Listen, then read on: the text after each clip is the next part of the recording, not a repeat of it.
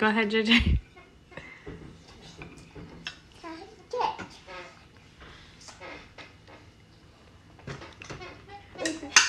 You sing a song?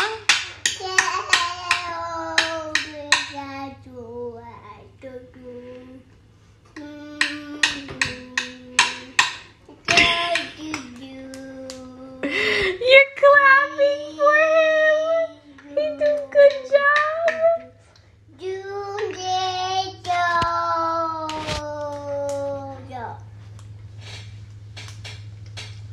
All done?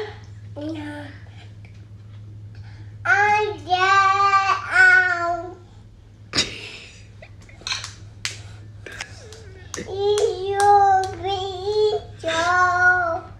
it going? Yay! Good job.